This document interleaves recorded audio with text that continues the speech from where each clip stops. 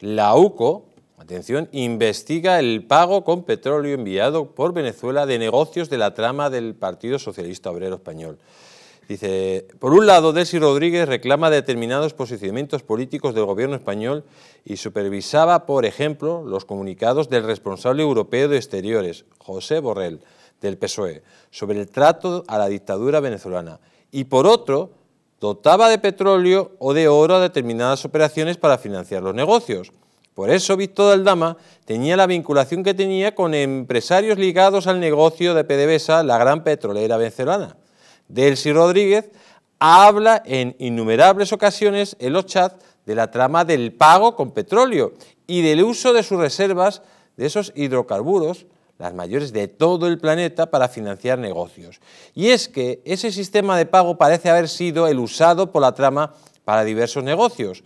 Un mensaje de Víctor Aldama a Delcy Rodríguez el 21 de mayo de 2020 deja clara esta fórmula. Se lo puse muy fácil. Le dije que la deuda son 200 de euros, que me haga una propuesta de cancelación pagando en petros. Y se sacó adelante yo me encargo de Javier. El mensaje parece responder al plan de la devolución de la deuda de los 200 millones de euros de Venezuela con Globalia, donde era CEO Javier Hidalgo. El sistema de pago, pero dice que además de todo ello resulta muy llamativo que el sistema elegido de pago, porque no es con dinero, sino con petros, porque es el principal recurso de Venezuela y los dólares son un bien escaso para la dictadura.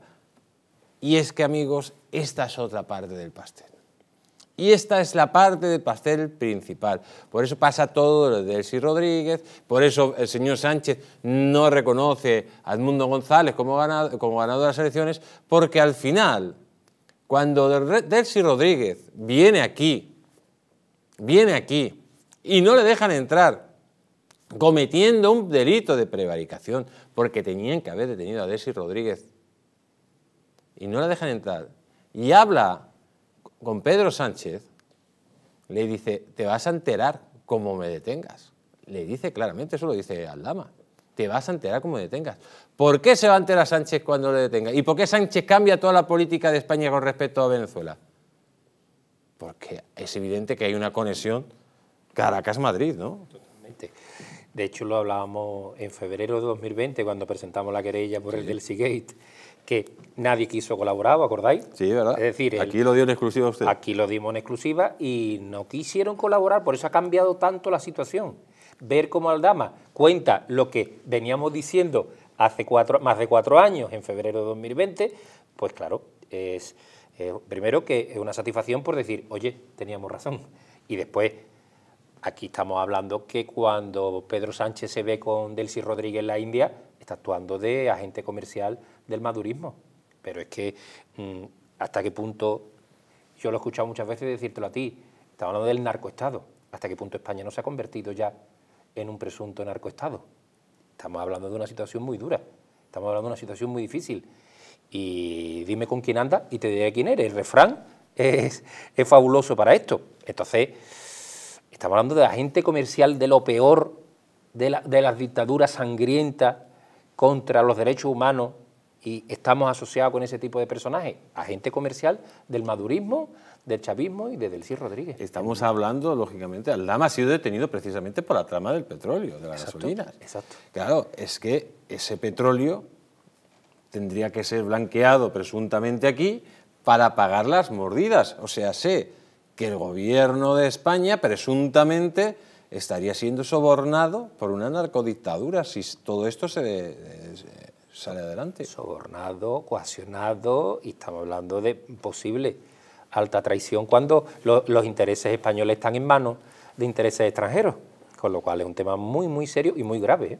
Pues amigos, lo que estábamos hablando es la punta de iceberg, pero esto, esto ya es, esto ya es base de iceberg. ¿eh? Esto ya es, es muy importante porque estamos hablando de alta traición al poder ser comprado un gobierno supuestamente democrático por una narcodictadura criminal y asesina. Correcto.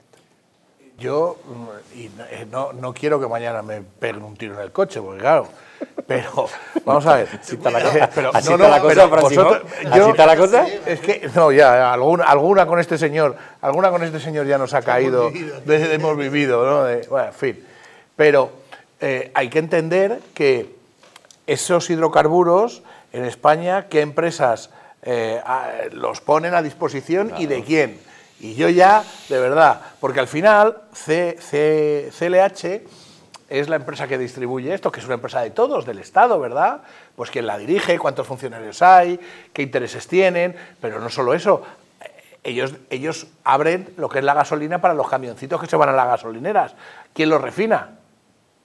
Mm, ¿O qué pasa? Que aquí llega un petróleo de no sé dónde, lo refinamos, va y de patilla, lo llevan que y hay luego... muchos elementos, claro. Claro, es que, es que de verdad, y estás hablando, pero es que eso es lo que hay en este sistema asqueroso y podrido. Entonces, a mí que me expliquen cómo llega petróleo de Venezuela y esto acaba en dinero. Hombre, yo lo sé, porque sabes cuánto esto, pero eh, hay- hay un mecanismo donde intervienen muchas personas, interviene una empresa del Estado como es CLH, y que es donde todo el mundo compra la gasolina, vamos, es la gasolina del Estado, aquí no se puede, eh, no puedo llegar yo y vender gasolina sin esos permisos y sin las licencias, y quién le ha dado para el refino y quién ha refinado esa gasolina, porque Venezuela no refina gasolina.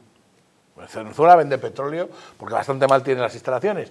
Y ahora nos preguntamos, eh, y yo ya, mira, de verdad me callo y que la gente investigue dónde y quién refina gasolina eh, o petróleo en este país y quién lo hace. Ha dicho una cosa muy interesante, Sergio, respecto del soborno. ¿no? Aldama apuntó en la declaración eh, la Internacional Socialista. Y habla varias veces de eso y cómo a él, ante la situación con Guaidó y Leopoldo en la embajada y unos negocios espurios que ve allí, cómo a él se le contrata para recuperar la relación comercial con Venezuela comercial. ¿Comercial de qué? Y él dice, y yo hice el trabajo por el cual fui contratado, hago todo y a las dos horas de aterrizar del sí se monta el pollo padre. Y dice, pero yo hice mi trabajo. En sede judicial, te lo digo. Eh, no, no, yo lo hice y lo cumplí y, y po- y poco le decir, y lo cobré, porque a mí me contrataron para eso y lo hice. Claro, y la pregunta es, ¿y qué hace el Partido Socialista encargando al Dama la recuperación de unas relaciones comerciales con Venezuela? ¿Para qué? ¿Y, y Zapatero? ¿Qué papel tiene en toda esta historia Zapatero? Yo Que estoy es- parece que es el tapado, ¿no? Que va a salir en cualquier momento y va a hacer pa. Va a decir, aquí estoy Pero yo. aquí estamos hablando de una cosa muy ¿Cómo se importante. financia el cártel de Puebla? No, no, claro. Estamos hablando ¿Cómo se de que eso? supuestamente una narcodictadura, una narcodictadura, estaría sobornando a un gobierno, como el español, por medio del señor Aldama, que por cierto, él tenía un documento y se ha confirmado De- de que, decía que era representante del gobierno español. De Ábalos. Claro, tenía un gobierno, como si fuera un, un- un ministro del gobierno español. O sea, estamos hablando de algo muy gordo. Y luego No, vemos, estás hablando de traición. claro, de alta traición. Yo, claro. Y ese documento, ¿qué validez jurídica y consecuencias penales tiene de nombrar a un diplomático sin cumplir la, legislación vigente? diplomática, efectivamente. Es que estamos hablando de que eso, es que todo lo que mires, todo lo que mires es lo mismo. Y es lo que decía él. ¿Y Y al final, después de cuatro medio? años, es, era verdad todo. Era todo verdad. Claro. Al final, Claro. después de cuatro años, era todo verdad. Todo verdad. Y al final, por mucho que digan y no sepamos lo que hay en las maletas, da igual, era todo verdad. Y entonces, ustedes nos han mentido. Otra vez más. Y encima, en todo este proceso, ¿cuántas empresas y partes del Estado han intervenido para que al final le llegue un euro a alguien del Partido Socialista?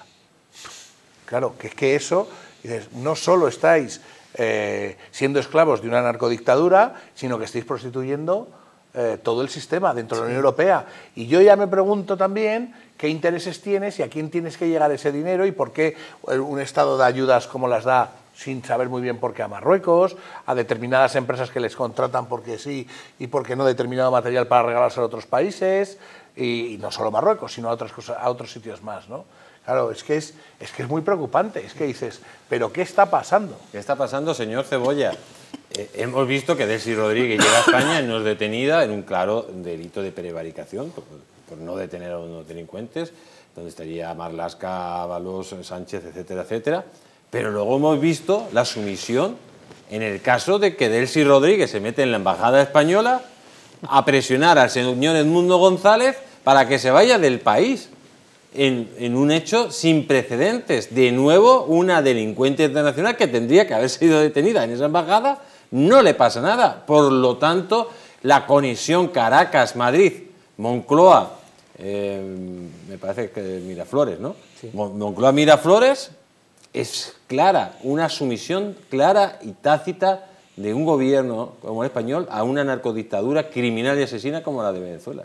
De hecho, eh, eh, estábamos aquí hablando del nombramiento como representante diplomático, entre comillas, y hemos encontrado un, otro posible delito de prevaricación, y es que los que ejercen la acción eh, particular y popular en este tipo van a tener que afinar mucho a la, a, desde el punto de vista de, de, poder afinar el qué tipo de delito y por, porque es que cada vez que vas levantando y cada vez que vayan haciendo más declaraciones, porque Aldama va a hacer más declaraciones, a la hora de la calificación va a ser clave. Entonces, está, yo creo que desde el punto de vista jurídico y legal, eh, aquí van a tener muchas responsabilidades los diferentes ministros y el Gobierno de España.